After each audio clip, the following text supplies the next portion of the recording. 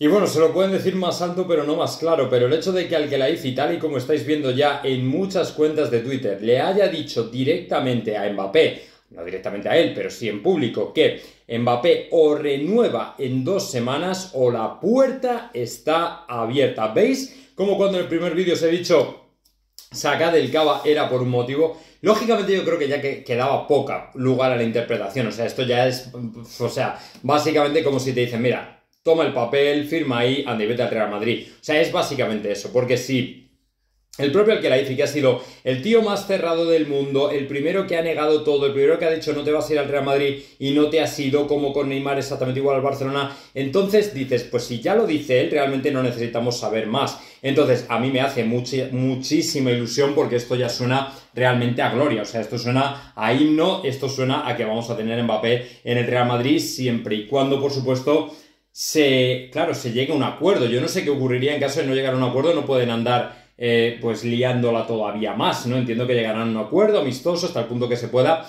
y ya está. Pero bueno, lo importante para nosotros es que al que la IFI ha dicho muy claramente o renuevas en dos semanas, majete, o te piras de aquí. Así que, ¿yo qué queréis que os diga? O sea, más claro el agua. Efectivamente, al que la IFI lo ha puesto todo muy clarito. Ahora mismo creo que Kylian Mbappé tiene que saber que es más jugador y el Madrid lo tiene que saber que es más jugador del Madrid que nunca, siempre y cuando él quiere y no la líe su madre con el tema de los bonuses, las primas y todo este tipo de cosas. Y bueno, pues ya queda poco, o sea, son dos semanas, yo creo que ya podemos esperar perfectamente justo antes de que empiece pretemporada, giras, tours, etcétera, etcétera, etcétera. Así que me da a mí que como salga antes, Mbappé se va a Estados Unidos con el Real Madrid y no a Japón con el Paris Saint Germain.